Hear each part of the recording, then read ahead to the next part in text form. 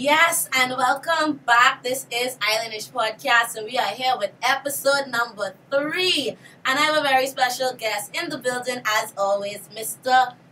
Mr. Mr. CEO and founder of the King and Queens Project, Mr. Darrol Stubbs. Darrol, Darrol, Darrol. Hello, hello, hello. Thank you for coming on the show. And thank you for having me. It is a pleasure. Now, Darrol, I must give you your kudos, your tops, tap, tip my hat off to you for keeping pageantry and something that I love so much alive here in Freeport, Grand Bahama, and in the Bahamas on the whole. So before we dive too deep into that, tell my listeners and my viewers a little bit about who you are, what you do exactly, and what is the King and Queens Project. So, hello to all of our listeners and viewers. Yes. I really don't know how she got me here, but I am here nonetheless. mm-hmm. um, well, as she would have introduced me as Darrol Stubbs, and yes, I do have a love and a passion for pageantry, Mhm. and one of my goals are is to really keep pageantry alive in not only in Grand Bahama but in the Bahamas. Mhm. um, because it's I know we don't it doesn't get a lot of um, attention Yeah. and it doesn't get a lot of support, but it's Mhm. something that you know we connected to that we're connected to through your own experiences and through mine as well. Um, but other than that, I am a pageant coach. I am a model coach. I am an, an in- image consultant, Okay. producer. it's Uh-huh. quite a number of things under my belt Several hats. several hats. Um, and I was introduced as the founder and the owner of the King and Queens Project, which is an organization that I would have started um, almost 16 years ago. Oh wow. Um, but I didn't really brand it until about six years ago. Okay. Um, yeah. With the King and Queen Project, that um, it's an organization that that I started to help develop and refine young men and women hmm um, through pageantry mostly. That's how it started. But then I, I realized that people need some help, some guidance in finding themselves and their own unique style Right. and their own creativity and everything. And then, of course, again, there is pageantry. Pageantry is always number one on my Yes. list. Um, but that's why it started because I found that um, a lot of people that I worked with hmm um, and a lot of people that I liked and um, would have liked to help and had great potential to do well in pageantry didn't have the means and the resources to do it. Right. Um, so that's how I started, almost like a little Cinderella's closet kind of thing. That's how that began, and training and coaching people free of charge, Okay. um, just to help them. And I even blew myself away because yeah, we we have um, quite a bit of quite a track record yes. with that. I have to say, you you you're kind of high in terms of the winning percentage over there, Darrol. Oh yeah. People know if you want to win a pageant, I think the person you need to call is Darrol. He can make sure you're straight. He can make sure you're good. So as we dive deeper and more into this pageantry conversation, because this is going to be a big and deep conversation we're going to have, mm-hmm. and we're going to not only touch on pageantry and what you are able to do with the King and Queens project, we're going to talk about how pageantry has changed over the years.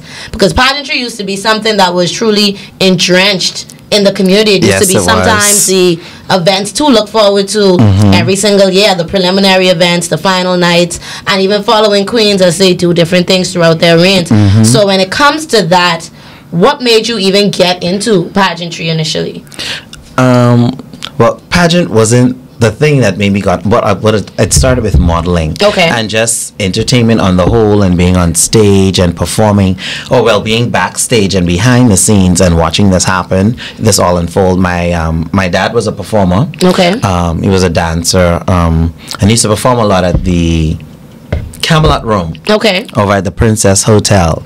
And then I had in my community, my mom was in beauty.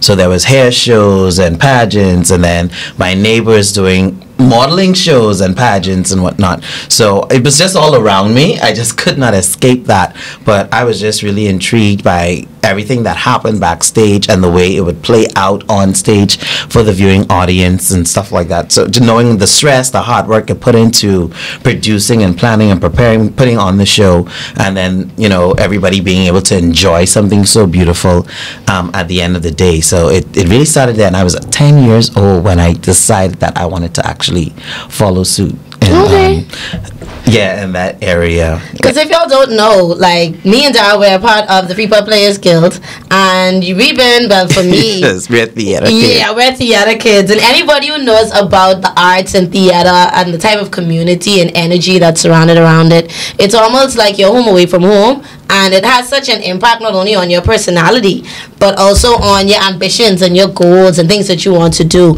So I got my initial introduction to pageantry with the Miss Junior Grand Bahama project mm-hmm. and that pageant organization, and I have to say that that really helped me to break out of my shell.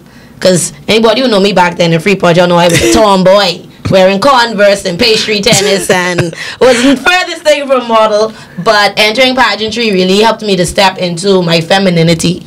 And that's what it does. And that's what it's there for, you know. So that's a major part of it for me. And it also helped me because I always had confidence a little bit, but being able to refine it a bit better mm-hmm. Mm-hmm. and help it to be a little bit more poised and a little bit more mm-hmm. polished. So with projects like back then with the Miss Junior Grand Bahama pageant, and even when I went to Nassau for the Theodore Elliott Yeah. Miss Teen Bahamas mm-hmm. pageant, which was back then the premiere. it's right when I first heard the name Yami. Right, that was like the premier pageants in the country. Big ups to Theodore Seeley. Still favorite hands down pageant coach I ever had. And even looking at that in that community, why do you feel like pageantry has started to dwindle a lot since compared to back then? Because I'm talking about 2011. Yeah, 2011. Well, around 2011, 2012 would have been like maybe the last year or 2 Mm-hmm. that pageantry was a big thing and something that people did look forward to. Right. And it was well respected. yeah Um, but I think a lot. I think maybe what's caused it to dwindle now a lot has to do with um, people or maybe pageant directors and producers not truly having a, a love or a passion for the art. Okay. Um, but they just do it and they see it as a way to maybe make money and stuff Mm. like that. So the time and attention that it takes to um, embrace your queen and, and nurture your queen Right. and teach your queen and develop your queen and put her out there and so on and so forth as well as your system at the same time because it's, she's representing the pageantry system as well um, a lot of people don't have well persons i don't think like i said have the, that kind of passion and that love for it Right. um, to do that so it's kind of lost its way and then so you have people just winning titles and then they're just sitting Right. you don't see them out in the community like how you used to see Miss Teen Bahamas Right. or Miss Bahamas and whatnot. And then, you know, that would give girls or everybody else in the community a chance to say, I see this person, I want to be that person, or, you know, and stuff like that. So it's kind of just faded over the over the years. And that's why it's it's been hard trying to keep pageantry alive. And that's why I decided to take it into the high schools. Right, okay. You know, With um, the high school project you have going on. now the Bahamas National High School pageant I have going on, and that with that too, I always believe that um with especially with our Miss Bahamas Queens, our national queens, um, that being universe and world queens.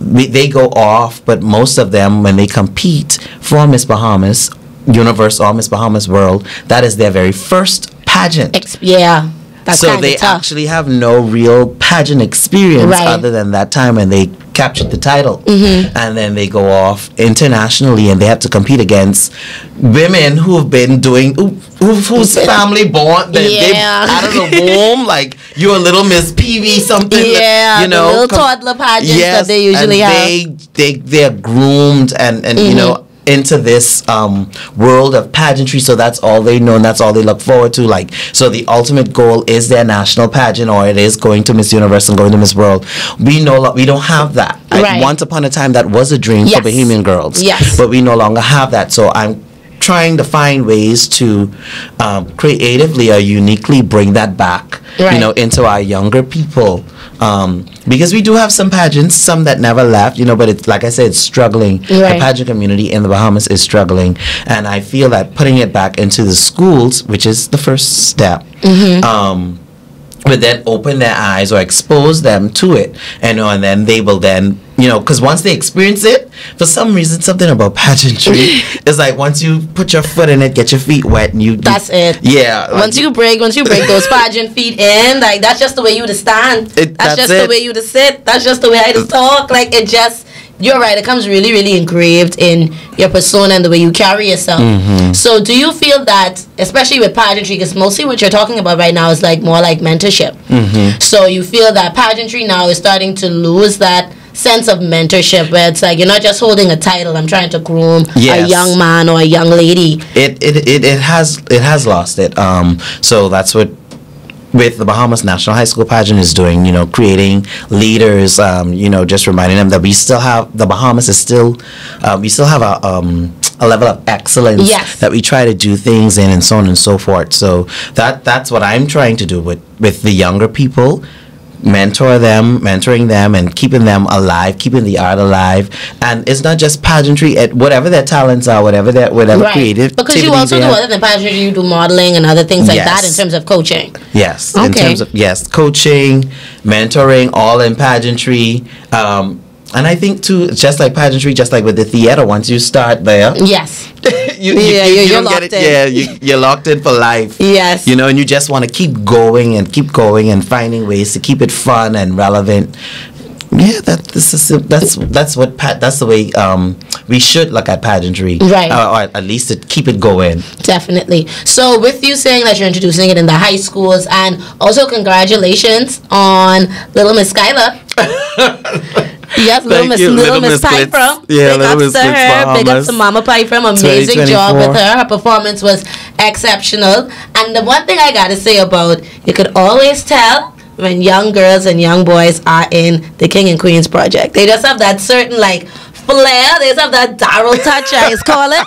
They just have that Darrol touch when it comes to their performance, their on stage presence, the things the things that they say, and also their costumes. Because one thing I could say, you definitely lead in the park when it comes to wardrobe and costumes, when it comes to your team. So do you have Thank a you. team of people working along with you, or is this all just Darrol? I I do have a team. Mm-hmm. Um, sometimes the team is required, um, and sometimes is I don't necessarily need the team, but I still consult. Yes. Um, with them, so I we do have makeup artist. I do have an you know an on hand makeup artist. I do have an on hand hairstylist and stuff like that. I have uh, even me. I still need mentoring. And right. in terms of what goes in, in terms of what goes on and, and how I manage things and organize myself and so on and so forth. So yeah, I, I do have a team and everything is ki- is basically put forth um, the team, but it's mostly whatever the concept. When you come to me as a client and I put together your package and your concepts and whatnot,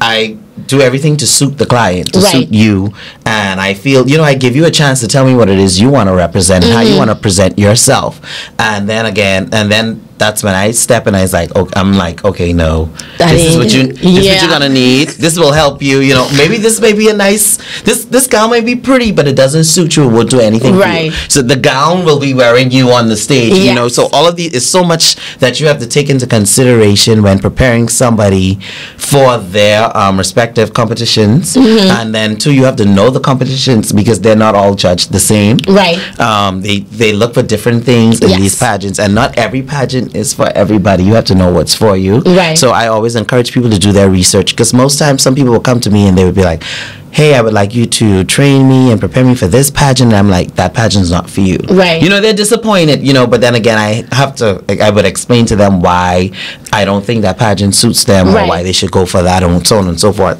Well, whereas some people would be like, "Just let them do it for the experience." While I believe in that, I also want your experience to be the best one Right. possible. You know, hopefully. And also, you don't want to waste people money too. Right, and that's another thing too. Um, that's part of why the King and Queen project was developed. You know, everybody's be like, they tell me say I'm the reasonable person when it comes to that. Um, but I don't do that for everybody. Um, I've been able to, after so many years of doing it for so long, um, because it is a very lucrative business and it can be. And to be honest, and people won't believe me when I say this, I really don't walk away with anything um, in terms of like finances, Right. Um, financial gain from this, which and I would like to, um, but I'm just it's just not there yet because I see where people struggle and I know the struggle because I Right. to myself, you know, having to compete.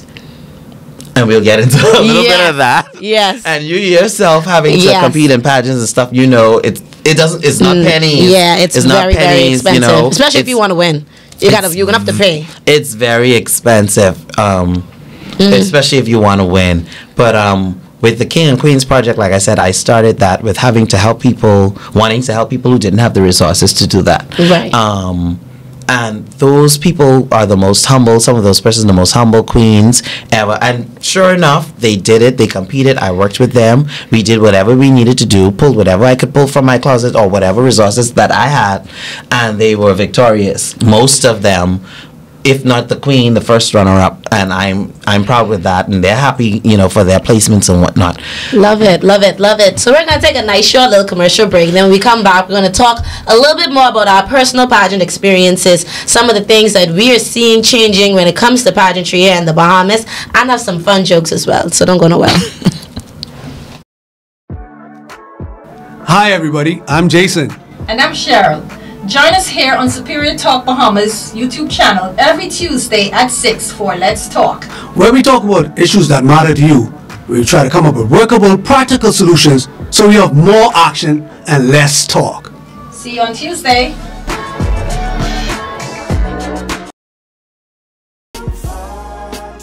Yo, what's up, Bahamas? Uh, my name is Andrew Williams, aka Cat, And I'm your boy Mix and we're representing Off the Bench, the number one talk sportcast in the Bahamas. in the world, my boy. Uh, my, oh, my bad partner. So Yeah. we cover we cover anything sports, anything sports throughout the Bahamas. We cover our Bahamian athletes wherever they are, we, and they, they're making waves in sports. We cover them. Hey, just tune in to us every Wednesday here on Superior Talk at 6 o'clock p.m. The number Sharp the number one talk show in the world. in the world. the world, Craig. Ready? Yes, so we are back here with Islandish Podcast with the wonderful Darrol Stubbs, and we are talking all about pageantry here in the Bahamas. We initially started talking about the King and Queens Project and what you're Yes. doing here in Freeport, Grand Bahama, and what you're also introducing to the high school level. So now let's talk a little bit more about that process. When it comes to finding young people or even young people coming to you, what are some of the misconceptions or hurdles you have to go through, especially sometimes dealing with the parents who probably don't want their child to get into pageantry? I know my daddy initially, my parents was, was like, um, I ain't too sure about the whole bathing suit thing. It's always the So, daddies. what are some of the things you see as a is usually like a misconception that a lot of persons have about pageantry? Um, the first thing is exploitation. Okay. Um, they think about that, especially with the little ones, but it's how you present them. right. You know, it's it's it's what you teach, mm-hmm. and again, then again, like I say, it's what you choose, which pageant you choose, or which model agency or whatever it is you choose to go with. You have that control. You have the authority to say, you know, this is what I would like, and this is what I don't like. Um, now, with, in terms of people finding me or me finding them, um, I do have people that would inbox my Instagram page or Facebook page or they may have gotten my number as a referral Right. um, for something and this is with both young men and women but then i too sometimes i would be in the grocery store or on the bank line and i see someone and i'm like hey have you ever thought about doing a pageant or, or modeling or Right. that i do a lot especially with um, young men Yes. um because they're not usually the they young men don't usually come looking for you to one or two pageants Right. or modeling or anything like that um and they it takes a little bit more to persuade them Mm-hmm. so i usually have to put on do a test shoot or something like that or casting that they can experience and then once they see themselves and they have the experience or i put them on stage at the king and queens project showcase Right. um which I've been doing for the last six years, then it's like, oh, I actually do like this. This actually does work, and especially when they end up getting a booking or two. Nice. Um, so then they get excited about it. But yeah, I have no problem. Now, mind you, I'm not. I'm I'm pretty shy. I'm actually shy. So y'all see me at talking. Listen, Darrol is like, people ain't being shy. I don't know no one in theater am mic who is shy. Not, Not- a single one of us are shy. We play shy. not that I'm stage shy. For some reason, I'm mic shy. I don't like having to speak into a microphone. But I, I don't know. I somehow find the nerve and the courage to just walk up to strangers and ask them, "Would you like to be a model, or have you ever thought about it?"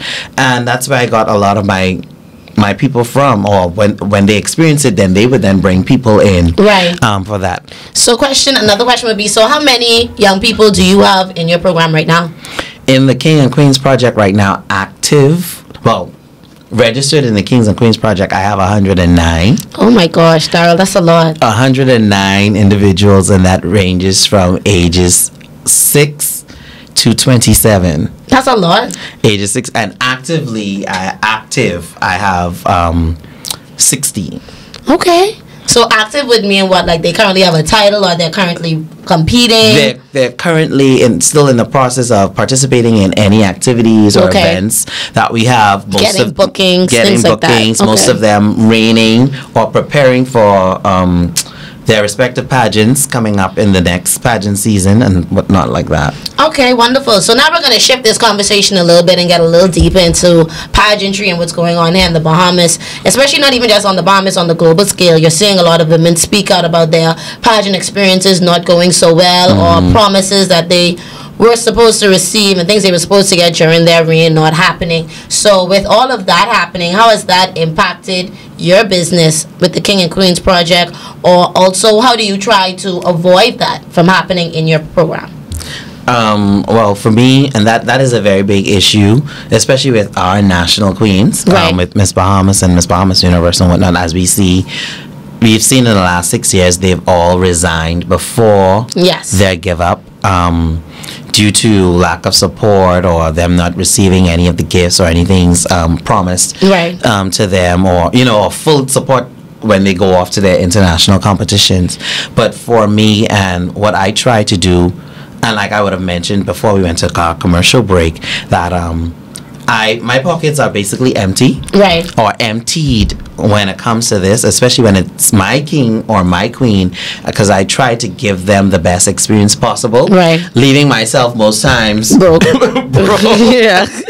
or, or with nothing, you know. But with, but for some reason, I'm still always able to pull it off with a lack of funds. Right. And I'm I'm so grateful. I'm so grateful that I find that I get most of the kings and queens that I get are always just humble and understanding um, people. You know, because I'm able to say to them, "Listen, this is what I wanted for you, or would like to have for you, but we don't have this. Is this is not happening right now?" And they understand, Right. and they're okay with that. Um, and that's the next thing too, having to be open and being able to communicate these Right, things. transparent. And, you know, being transparent with what's happening and what's going on, and people respect that. Yes. Um, so I think that's why um, we I have a, such a unique relationship with my kings and queens because I'm always they always know what's going on.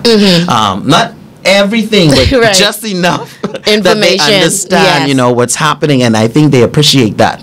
Just as I would like and, and appreciate anybody being transparent with me with what's happening and what's going on, and I think that's where we lose um, a lot of respect for pageantry in the Bahamas um, because You feel like you ain't want tell, you ain't want say, you just want cold call right people. and then people feel like they're wasting their time and then they get disappointed and whatnot you know i so i'm not gonna get your expectations up so high you know you know And then so leave you high I and never dry. really I, I honestly never tell you what to expect right. so that there's really no expectation so that when i do something or as things are happening during your reign you're surprised you're appreciative or like my current king and queen they're blown away every each time something happens Right. Mm-hmm. um, because it's not expected um i don't expect everybody to operate that way but that's the way i operate Right. um because i don't like broken promises Mm-hmm. you know i don't like looking forward to things or expecting something and it's just not happening um and especially when you have to go off internationally with Yes. with we My have, Lord. yeah, our people, our queens. I feel that you should have. I I have this thing that I would say: if you want the best the world has to offer, you must offer the world your best. Yes, I and like that. I, I go by that, and I say that to my kings and queens. If you read all my bios or anything that I write, it's always in there. And I always believe in putting your best foot forward. If I can't do something um, to the best of my ability, or I don't feel that it's representing me, Properly, yes. um, fully, then I don't do it. Right. I don't go for it. And when we're going off, I do everything that I can to make sure that my kings and queens have what they need to represent them be- their best self. Because be- at the end of the day they're not just representing themselves and they're not just representing me. That sash or that banner across their chest says the bahamas. Right. they're representing an entire country this entire nation. Mm-hmm. and that's why i still believe and hope one day that our governing parties would assist us in some way. Um, I know tourism does a little, you know, where they can, but some countries have full support Yes. um, by governing parties Yes. when it comes to pageantry. Like they take this thing so seriously. Right, because you're representing the country. It's almost like you're representing us. Yeah, you're an you go. ambassador. Right. Wherever you go, as a king or queen, whether it's Miss Bahamas, Mr. Bahamas, Miss Bahamas Universe, the Little Miss, whatever. Some people say these are the little pageants. At the end of the day, when they go, they're representing the Bahamas. Right. Don't no matter what the platform is, what the pageant platform is, they're representing the Bahamas, and we should always be behind them and support them. You know, but we don't have that support. And It's end of- unfortunate. you know, it, it's very unfortunate because when when they go off and they're on stage and they're competing, um, we're watching and we're rooting for them. Yes, yes, but we didn't really do anything. Help them get you there, You know, yeah. like as simple as it is, liking a photo or Mm-hmm. paying a dollar for a vote. Um, our people don't do that. But when it comes to sports, Oh, roll, roll carpet. Roll out the when carpet. it comes to sports, the red carpet is rolled out. Zenades is greeting them at the airports, like whatever news outlets. Like you get full coverage of Mm-hmm. that. But our pageant king and queens, they are ambassadors. They are representing the Bahamas just as much, just as the athletes are doing so. Definitely. And most, and then we have a lot of people who are very, very victorious and triumphant when they go off, but they don't get any acknowledgement or any recognition um, for that. And I feel that that's that's unfortunate because that's their contribution to their country. Yes, and that'll always be there. Like that's always on record. And it's always on record. That's something that is there. It's something that they actually did. Yes, you know. definitely. So even shifting the conversation with that, we're talking about the mentorship and things that go into pageantry, because I remember my pageant experience, just like how you say, come up on you and say, hey, you ever thought about I never forget this. Colette Parker approached me, big ups to Coco, and Yes, the BDT crew. She approached me when I was attending COB right here in Freeport. I was enrolled. I think that was like my first semester at COB. She approached me. She said, "Hey, we're having the Miss Junior Grand Bahama pageant. Um, this is the intro night or the casting call night. You should come just to see what it is. Bring your parents if you want to and see what's going on." And I never thought me going there that one night would end up with me winning that pageant mm-hmm. and sending me to Nassau, me winning the national title in Nassau. That's right. And I was the only person from a family island who was competing in Nassau. And my dad had to take time off because I had to live in Nassau for basically two months. because listen, no, I have to tell you, like Theodore Seeley, that Theodore Elliott pageant, that was Oh yeah, that was That definitely was- that was listen, we definitely top tier. That was the pageant to follow. the pageant was only for like what two weeks, actual preliminary events. But we were training like eight, ten weeks prior to. We had practices twice a week. We had certain shoes we had to wear that were given to us because that's what you pay in the pageant mm-hmm, package. Mm-hmm. Everybody has the same style shoe. All us get the same training from the same Toastmaster coach. So it's almost like they made sure all of the girls were at the same level. Yes, at the same level, Right. and, and that's what makes a great comp, an excellent competition. Right. Like all of us had the same tools. They told us, okay, this is what you're gonna have to do at each competition. These are the things they're gonna be looking for, and it's up to you to prepare. It's up to mm-hmm. you to get the right dress. Listen, I don't know how my daddy find these people in Nassau to work with me, but he found the right people, the right hairdresser, the right this, the right that, and everything just lined up so perfectly for me. And I'm very thankful for that pageant program because it gave me a lot of the tools I even use now with being a hostess and being on radio and understanding how to do sound bites, how to be quick and how to answer a question when someone asks you Mm, being able to think on your feet. Right, and not have to fluff. It teaches you these things that I've never gone to a job interview and not get the job. and I, I have to give that to pageantry. Yes, pageantry does it does that for you Yeah. because in your preparations and you're preparing for and you're training for pageantry, you're trained for interview, you're trained for Right. on stage question and answer, you're trained for media. Um, so all of these things, you know, they help you for the rest of your life basically Yes. it's not just in that moment and just for that particular pageant experience but it, it stays with you it sticks with you Definitely. the confidence that people gain you know it's just Yeah, it's something you honestly can't buy. And even now, some of the girls I did pageants with, they I see them all the time. We still the best of friends, even though I Oh, win yes. and they lose. Like it- pageant bonds are yeah, like like, it's are like university bonds. yeah, like we've been to college together. Like it's our own little sorority. it stays with you forever Yes, and and. Even speaking about the current Miss Uni- Miss Universe, Miss Bahamas Universe, big ups to Sylva Gray. She was in the Elliott Silva. pageant. Yes, Mm-hmm. and it's like she was in it, and she helped us. Um, a lot of the contestants in the year that I was in it, she helped us with it and. To see her now go back to Miss Universe time after time, time after again. time, and then when they lift up the age limit because the age limit was 28 and last year they lifted it and she was able to go back Yes. in and she won. Like that's a victorious and very It is, inspirational it is, story. It is. Her story is indeed beautiful. Definitely. So when we come back, we're going to talk a lot more about the different queens that have been Miss Universe and different title holders throughout the years. And we're also going to talk a little bit more about Darrol's experience as well. So y'all don't go nowhere. Ciao. Where you going, mate? To go buy these tickets for the party tonight. Why this boy so dumb? Tickets242.com. You know how hard it is. They sell tickets for parties, concerts, plays, sporting events, everything. You know how expensive bus is. Well, if you just buy the tickets online, they could just send you it in the email. Then you could just print it off. You know how strong mosquitoes is. Or you could go to the box office downtown at the Genesis Street Girl. You ain't scared of Joneses either.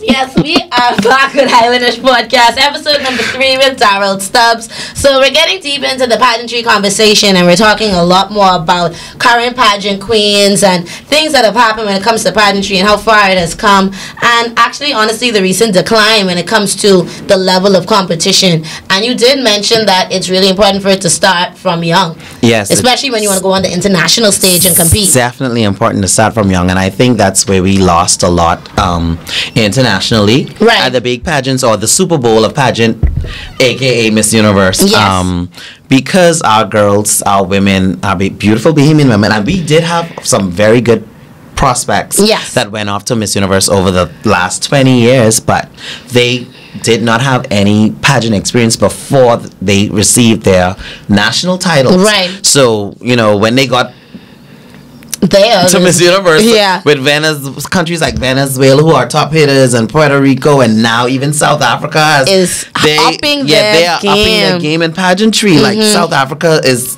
really doing it Yes. across the board in all areas in pageantry male Yes. and female um, internationally but uh, that just goes to show like because they now started with the, the little pageants um, and though a lot of Bahamians especially men when it comes to their daughters, they don't want their daughters to be exposed to pageantry and whatnot because they say they would make them womanish. Yes, which them out there and which stuff isn't like that. true. To be honest, Um, you know, it, it, like I said, it's it's how you deal with it. Mm-hmm. Um, some some some homes you may allow your daughter to become womanish, but it's it's how you you have the authority to control. You have the How power to control goes. how far it goes. Definitely. Um, and that's why I always tell people with the little kids, I try not to do so much with them. Mm-hmm. I try to always keep them childlike, and I I encourage them even like if I'm doing if I'm training a child.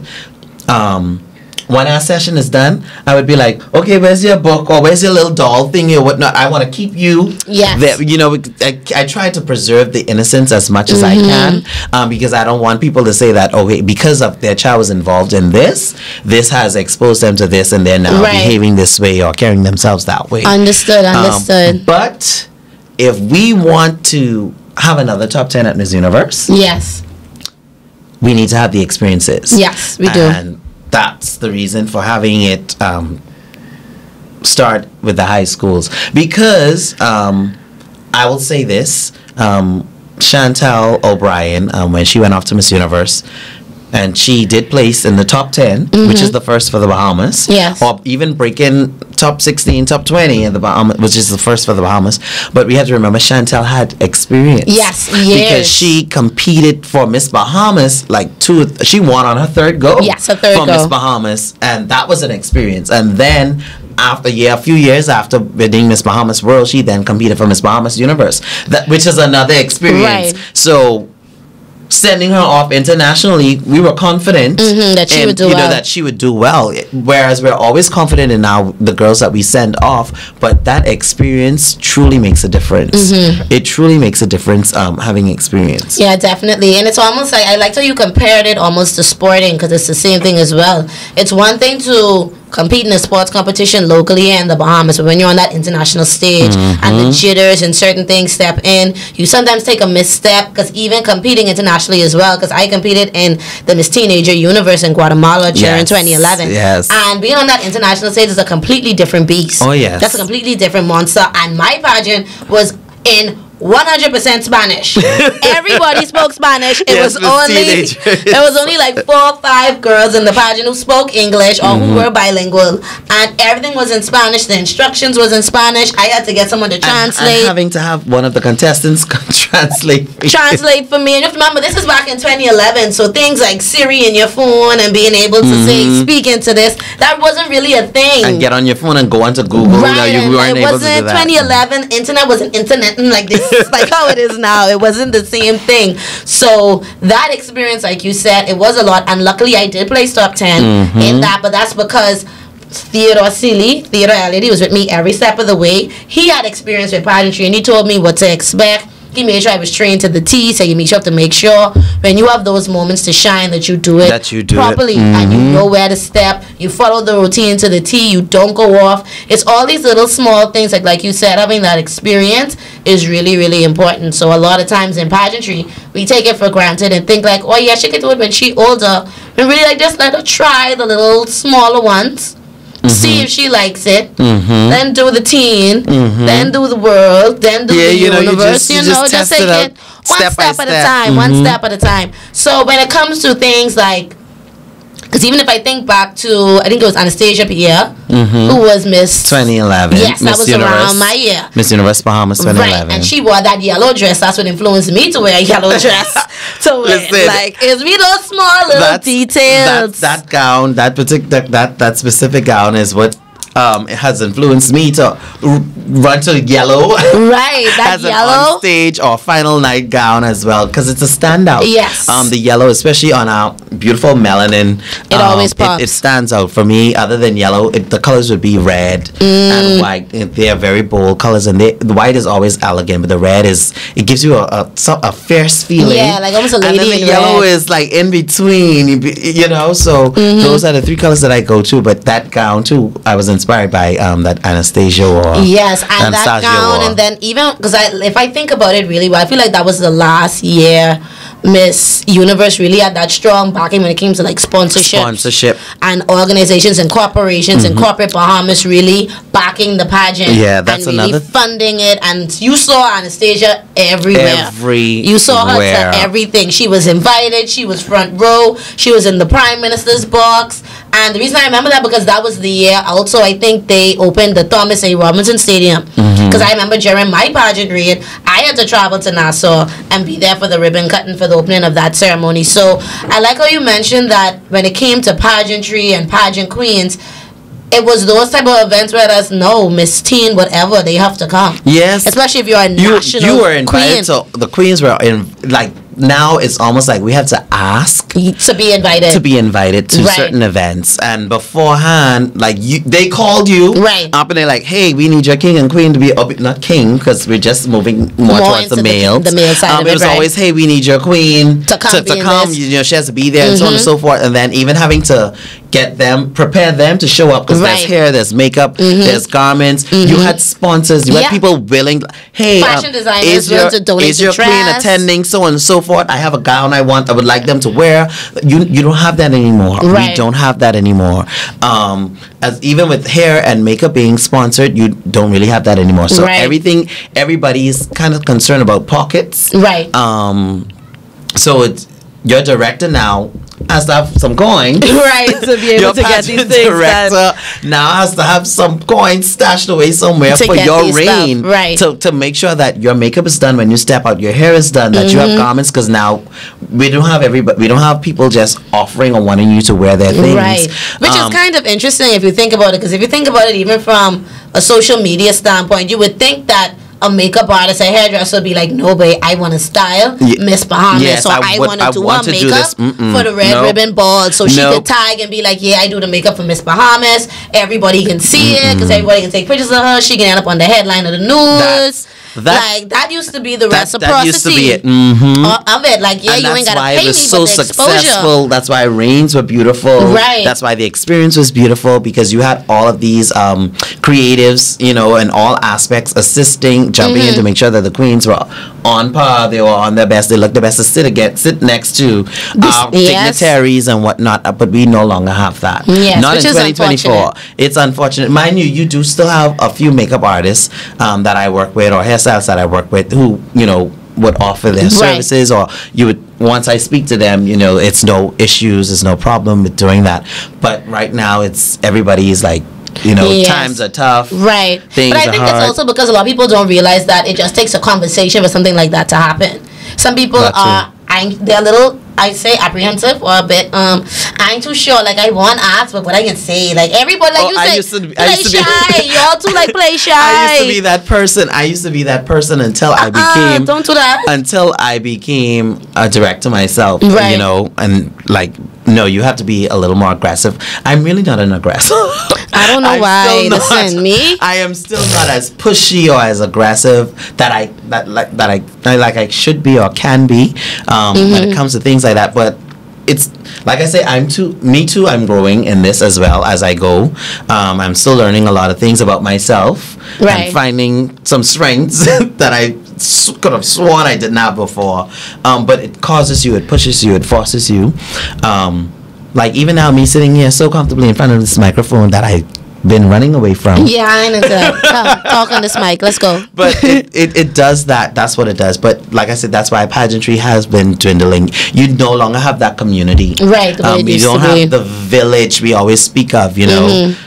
It, it's it's not the way it used to be, and it's right now. It's kind of like it's hard. Like I said, we're struggling trying to build it back up. right Um, I feel like that's the same thing with not just poetry but with the arts and theater with arts theater even theater you know that too within itself with we know how it is in, Yeah. in, in our um in our guild and whatnot trying to keep that going and trying to rebuild that Mhm. um and trying to get you know more people energy involved and and, you know. volunteering yeah. It It's- gets hard. It's it- really really hard. But you gotta stay encouraged man. You gotta hold into the good fight because it's all for a good cause. So now i'm gonna put you in the hot seat a little bit and i want you to tell me your top five past miss bahamas or pageant queens in general it don't have to be miss bahamas it could be miss bahamas universe It could be world, world. miss earth it, it don't uh, matter oh give wow me your let me top five let me hide my face yeah, uh-uh. I want to let me hide my face while I, I say tell you, like, if you starting to put y'all in the hot seat, I want your top five. Oh, Let's go. wow. And don't play favorites. No I'm not gonna play I'm not gonna play favorites Don't play favorites. um And I think you could use runner-ups too. I'm gonna let you. I'm gonna give you that blind as well. Yeah. Okay, thank you. Well, thank you for that. Um, Yeah. that open window. Um, for me, my past top five national queens and runner-ups would have to be um, One. No favorites. No, no. This is This not is in strictly order. off of their their fierceness, the way they competed, the way they reigned, Mhm. um, and the just the mere fact that they're memorable Right. Okay. um, yeah. to this day, and that they they still have some influence on the way I train and prepare girls. Okay. Um, so that would have to be Tommy Como. Okay. Big ups to Thomasina. of course. Um, God sister. It would have to be Celeste. Okay. I'll definitely give you Celeste. Um, as a runner-up. As a runner-up. Darrol, don't be shy. As a runner-up. I would definitely go with Cherie Delva. Okay. Um, Good yes, I choice. love. Yeah, listen, it. I can almost go back as far back as to Miss Bahamas's of 2002 and 2001. Is so many queens that have an influence on Yeah. me. Um, You only got two more. You only got two more. Let's go. Let's go. Ooh, child. Hmm. Do do do call the wrong names right now. The names aren't coming. The names aren't coming. But I would say Miss Bahamas 2000. Okay. Um, she's now in tourism. Mhm. By the Mhm. way, the, the names aren't there right now. Um, and then again, when Miss Bahamas actually got my attention would have been in the year 2001. Okay. That's when I paid attention. So the queen for that year, from 2000 onward, is when I've been following Miss Bahamas. Um, but Honorable mentions. Because you don't say five, so I'm wondering why you why you still look like you Honorable thinking. mentions would have been like Sherelle Williamson. She surely has range. She was Yes. beautiful, beautiful, and that would have been the time when I when Selvinique first stood out Yes, to me. yes, yes, but she yes. didn't make it into the top five. No, I don't think she made it in the top five Um, that year. Oh, Shantae Miller. Okay. Um, Shanae Will- Miller's um, sister. Yeah, yeah, yeah, Shanae Willow Weaver's yeah, and I was actually there at the Miss Universe pageant. Yes, I Um, okay, yes. When she competed at Miss Universe, and that was during COVID time. Mhm. So you you gotta love pageant if, If you're, you're traveling during during COVID. COVID, time, where you have to wear a mask and take COVID tests and whatnot. Right. That was a beautiful experience being there and being able to support Miss Bahamas. Mhm. Um, but Shantae is definitely one of my queens because she, we have something in common. Um, like I always remember when I started when I added the Kings to my organization. I had a king who was um, he's Christian and whatnot, and he was our chaplain, and he always reminded you know like if we're gonna do this, and if this is something that we're doing, we want other people to be a part of it, and we want this to be successful, we have to always keep God in it. Yes. Um. So, and that's something that Sh- Sh- Shantae and I have in common. Definitely. You know, she definitely led with that in her yeah, reign and she with her led with that in platform. her reign. Like that was no secret. That was not hidden. Like you knew who she was. Right. You knew the type of person she was, and so on and so forth. So that's just always something that stuck with me. Um, to see a queen so open and so bold. Right. Um, yeah, and her beliefs. Um, Okay. Boy, Girl, I I'm ready can't wait. I can't, off all I can't wait to use Um, this clip to let y'all know this you know, who Dara Shan- like. Chantel is definitely. This who we don't like. This the names he say. I hear him say your name, so I guess you don't make the cut, boo boo. No, we had some other honor. Like we had like um, Sher- Brooke Sherman was one of my one of a Brooke queen that I love. the most contagious smile I have Listen, ever sme- uh, seen. If you see her Miss smile, she can make anybody smile. Bro, like queens that were runner-ups and then they they had another title and they represented us at Miss Earth and whatnot and Miss the other competitions like um Daranique Young, Mhm. um Brooke Sherman, Corel Pinder. Like I took a liking to Miss Grand Bahama after Corel. Yes. Um, a lot of the Miss Grand so Bahamas went to Miss Bahamas Universe and did extremely Yes. well. All Miss Bahamas Well, were. Grand Bahama on the whole always does extremely Please well clean up, when please we clean up. when we go to the national competitions. I must say, Grand Bahama is always the On one to look out for. tier. Always the one to Definitely. look out So for. we gotta take a quick commercial break, and then we come back. We're gonna wrap up this conversation. Darrol, it's been fun having you so far, It man. has been fun. But y'all don't go nowhere.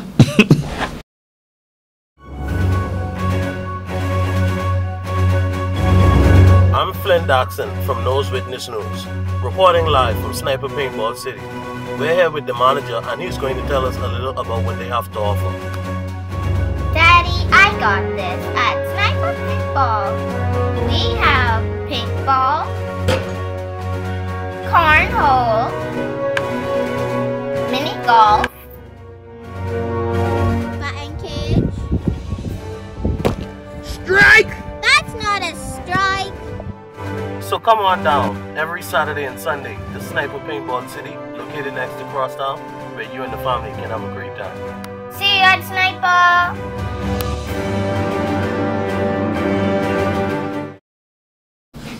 All right, yes, ladies and gentlemen, this is Islandish Podcast, episode three. We've had Darrol here. I put him in the hot seat, and I am did. loving this. So, as we get ready to wrap up this amazing conversation, I do want to ask you, where do you see the future of the King and Queens project going? At this point, because you are doing some major, major things. Your event is turning into almost the highlight fashion event to go to here in Freeport, Grand Bahama. You're doing an amazing thing Thank with the you. young men and women, especially now that you're introducing it into the high school program. So, what more could we see or expect from the King and Queens project throughout the next few years? Um, even like I don't know, uh, those who would have seen the last show, well, the show last year, um, that was titled "The Final Show," Mm-hmm. um, because I was going to take a little. I had planned to take a little hiatus. Oh yeah, but from anything pageantry and modeling and so on and so forth. But I guess because my heart is so much in it, I just could not, or the kids wouldn't allow me to. Mhm. And persons that were involved, them and their parents, like, no, Mr. Dow, like, I need this. Like, you don't understand. I'm, I'd be looking forward to this every summer. Right. Um, you know, so just just the love for it, um, for the pageantry, for the whole camaraderie, you know, them being at rehearsals and practicing and being together and all the different events and stuff that we do and the community services and stuff that I try to Incorporate. Mhm, incorporate. I'm very, very big on community service and building community. Mhm. So that's what I try to do with my kings and queens or anybody that's involved, um, or any organization that I'm involved in. Really, I try to get anything that the- the community has going on, and what we I just try to get them involved as much as we can. Even with the the theater, Yes. I try to keep yard, for which I'm the the past um, president for the yard group. and Big ups to y'all. Big ups to the Players Guild. You know, Big up to Regency Theater. anything I anything that I'm involved in, I try to always keep the community, Yes. you know, involved or keeps us involved in the community. But um I would have announced at the last show that on this past Sunday for the, the last King and Queen Project showcase that um you know, I, I guess I won't be able to take this break. No, keep that I going. had planned to take, um, and that the the annual showcase, because it's now our sixth year this Yes. year, will continue Mhm. um, going forward. Um, but it's not just all, on pageantry, um, and I've haven't been having to say this a lot recently, you know, because people getting involved, they're thinking it's all just pageantry. The King and Queen project is not just all pageantry. I try to develop like the whole child or the whole person, the whole individual, with assisting them with um, learning to be able to articulate um, again to find their own uniqueness and their own sense of style um, just any way they can express themselves creatively because i was given that opportunity through my parents Right. and through my high school. So that's why i always tell people especially when i now speak of bnhs the bahamas national high school pageant it's two things that i love pageantry and school because my ma- alma mater st george's high school had allowed me to be open and expressive in everywhere I could possibly be. I mean, from stepping to cheerleading to Yes. dance, you know, you you name it, every any and everything I was able to do. Right. Um, in the arts and performing arts, and we didn't even have performing arts then. No, not back then. Not when we didn't have school. performing arts then, but I was a performing arts student at Right. St. George's High School. Um, but the King and Queen Project, especially with getting more involved in the community. Right. Um, just recently, they I had them all participated, mostly the young men, Mhm. participated in the grand race. Okay. For the 51st Yes, um, were out there with you Independence guys. I saw celebration. Yes. So I tried. You know, the girls don't always come out to Yeah, when we but have to do to fun run Sasha. walks. She was there. Sasha was there. Yeah, she came up. pulled through. The girls will usually come out because they don't. They hate to get up that early. Right. But when it matters most to them, and which I can't fault them for, um, the causes when we do the fun run walk, especially like the ones for autism Mm-hmm. and the one for breast cancer that Ray Ferguson usually Yes, has, yes, yes. and the one that I'm that I am assist with or I'm involved in when um, the Resilience Center does the fun run walk for mental health. They show out. Yes. And those those causes matters to me, Mhm. matter to me, and it matters to them. So I can't fault them when they don't show up to everything. Right. You know, we still have some representation, so you you would see more of the King Queen Project um, prospects out in the community. Um, now it's become a thing because now I have people contacting me because the King Queen Project is on somebody's application as a reference. Right. You know, so I'm like, okay, okay, be be a thing thing now. Yes. You know, the kids are putting me on the applications as references, you know, and I find that when I speak to some of these employers, they they when they because they ask me about the program and the organization and what it's about because they trying to figure out why it's on the application Right. and whatnot and once i'm able to share with them what it is we do and how that individual or those individuals were involved, involved, right. you know they Blown away a little they're bit. blown away by it Good. you know so i was like i guess we're on to something Yes. we're on to something so but definitely look out to the annual showcase that will definitely continue Mhm. more community activities um, you will see us out there a lot more. And i had i was supposed to have been taking a i actually had retired from coaching itself. Right. um, because i had taken on so much directorship um, roles director roles in hosting pageants and putting on a pageant production and other um, productions that i'm involved in that i was trying to pull away from coaching. But in January, I got a call for Little Miss Mary Star, the Sea School pageant, Mhm. where I would have worked with Isabel Swaby, Yes.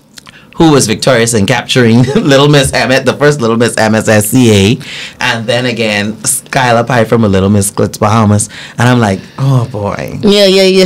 like how do you How do you? and because Mm-hmm. you know they both won um they did su- they, and those girls shine you know i won't take all the credit for it because it's them too it's on them too you know Yeah, their their determination their talent you know their intelligence you know and them wanting it Right. you know that's another thing too we i like when the when they want it Yeah, ain't no and one forcing them to go nobody's into forcing it. them it's right. it's it's a joy working with those persons. You Mhm. know, it's easy to coach, it's easy to train them.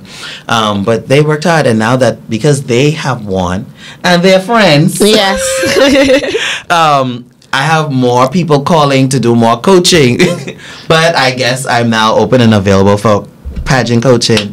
Four four one eight three seven four. All right, you better drop the number. Let them know they could reach you. How or you can look you. up the King Queen Project on Instagram. Mhm. Um, and then look out to what's coming up for me, other than the King Queens Project, is again the Bahamas National High School Pageant. Yes. Um, the first year was very successful. I saw that. Y'all were on almost every had- island. I say, We oh my had, yes, we had from Grand Bahama, we had Inagua Mhm. here, we had Cat Island here, we had Eleuthera here, we had Abaco here, Yes. we had New Providence here, Mhm. the capital. Um, did I say Abaco? I think you did. Well, just know we had a lot of the islands here participating in that, and those kids they enjoyed themselves, Mhm. and I was glad, just glad that they enjoyed the experience. It was three days. We had them here, had three days of competition and whatnot. It was a lot to take in because there uh, there was rehearsals and having to learn dance routines and so on and so forth, and then preparing yourself mentally to compete. Yes. it was a lot, but the atmosphere somehow was the most friendliest, calmest, inviting. They're all friends to this day. Good. They don't let me sleep. I've gained more children. Yes. Um, and they communicate. They communicate. They communicate daily. I mean, we have in, the, in our group. They're praying together. They they were assisting each other with coursework. You know, those are the kind of things I like people to take away from their pageant experiences. Right. You know, tho- those things you just can't buy. You can't Right. find any and everywhere. You know, so those are the things that I like most about pageant experiences. And now coming into year 2025 with BNHS again for our second year, we now bringing on the junior high schools. Nice. Because we had quite a number of them reach out when we were advertising for the senior high schools. So now we will have junior high and senior high Nice, competing. I love it. You know, and that and another thing too. Um, I was asked to bring that pageant to the capital, No, oh, okay. but I opted. I opt not to take it This to Grand Bahama is home. because Grand Bahama One is home. This is where I was born and raised. This is where my alma mater is, my high school Mhm. too. And then we go to the capital for any uh, all the other Yes, national competitions. yes. All other national competitions we go to the, the capital for. Um, and whilst it is expensive for us for to travel there, especially if you don't live there or have any family or anybody there, it is costly. And I do realize that it's costly for persons coming from the family islands to Grand Bahama to compete. But they were here nonetheless hopefully we do get more sponsors and get more people involved to assist us with that especially tourism with traveling and whatnot in Mhm. bahamas here we look forward to but i am excited for bnhs 2025 because now we had only 11 schools Right. um, but out of the 11 schools we had 18 participants Nice. 18 kings and queens um, competing because some schools a few schools didn't have both king and queen Yeah, some only had a Um, some only queen had a queen or vice only had a versa. queen. right Mhm. Um, but this coming year, we have eight more schools now on board, and they all have kings and queens. You know, I guess for some people, they needed to see how it goes. Yes, first. you know, with no Bahamians, we yeah. have to see how it goes Let me first. see how this Let me see how this play out first before we get you're involved. right. And um, The taster. mhm. and our king, and I was happy too that the pageant happened here in Grand Bahama. Um, but the king nor the queen is from Grand Bahama. Okay. Our first king and queen, our first queen, Kenia Minis, is from North Eleuthera. Nice. Um, attending North Eleuthera High School. And our king, Stanford McIntosh, was from Abaco S.E. McPherson High School Nice. in Abaco. Um, But we did have runner-ups: uh, Bishop Michael Eldon, Journey Bannister, Grand Bahama. We did have Tabernacle Baptist Christian Academy, Khalil Lockhart, Grand Bahama. But we also had Abaco. Boy, Abaco almost take it. I love it. I love it. Because they had King and first runner-up. I love it. So I'm looking forward to the next year for BNHS. That's what I'm most excited about.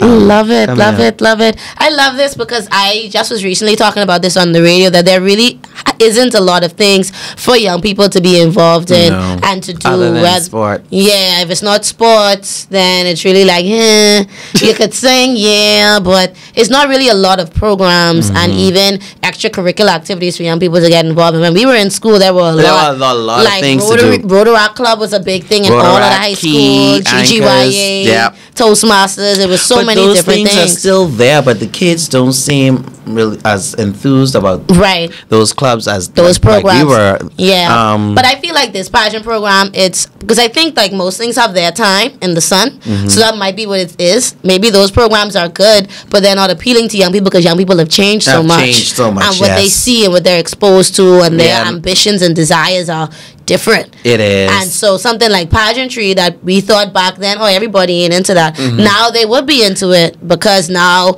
pageantry could branch off into them being an influencer, or Mhm. being a social Influencer. media this, or being a brand radio ambassador, or radio host, or different things like you know, that. it's so many opportunities that follows or comes after your experience in pageantry. Yes. Because you find you learn things about yourself that you didn't know before. You find this, you get this boost of confidence. You know, so you're ready to almost tackle anything. Right. You know, um, but what's most interesting, pageant with pageantry and the young people now are the young men. yes.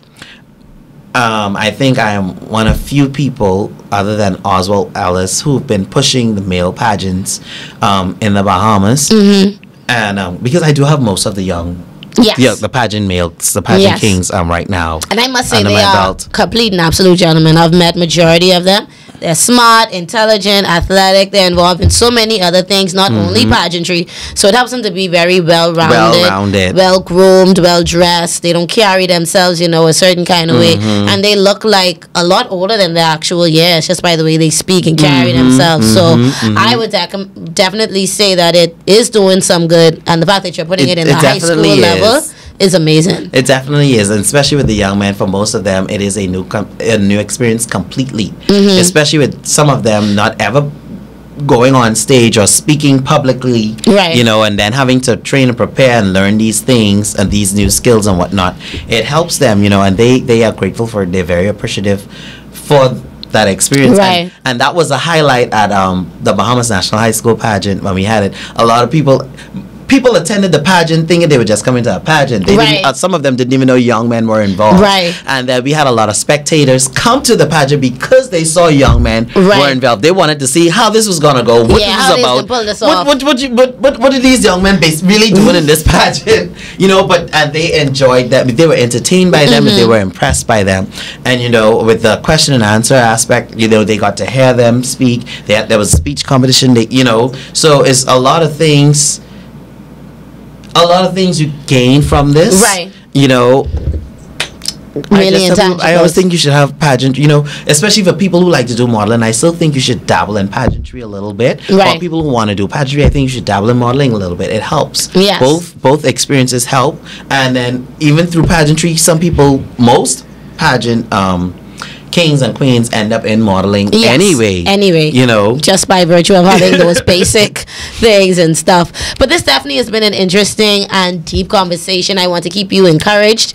Please keep this thing going. Please, is going to be big. I can see it growing even even bigger over the many many years. Make sure y'all check out the King and Queens project. Big up to my boy Darrol, all of his over a hundred young people involved in this program. Yes, over expecting 100. it. And I actually counted today, and I was like, wow. Yeah, exactly. It So, was today I counted. I was like, how much people really involved in this group? right, that's a you lot. know, when I was gathering myself to come here, I was like, wow. Yes, it is going into a big thing. So I do have to give you kudos. But that is our time on Thank the show you, for today. thank you, thank you for guys know what's going on. It's a pleasure to have you guys listening. And thank you so much for talking with us, Darrol. And we definitely can do this again. I may let you bring a queen A- or king with you the next time we have this conversation. All definitely. right. So thank you guys for watching. This has been Islandish Podcast. Peace out.